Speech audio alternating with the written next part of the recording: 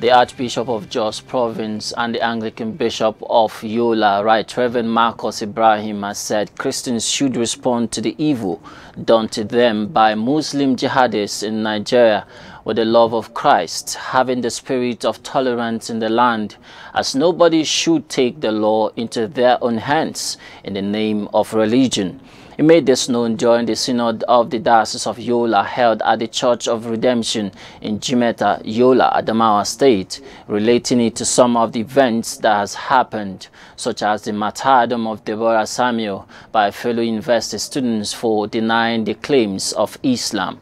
The bishop called for Christians and Muslims to abide by the teachings of their faiths and leave judgment to God. Archbishop Marcus' call for respect and tolerance came before jihadists massacred over 40 Christians at a Roman Catholic church in Ondo State.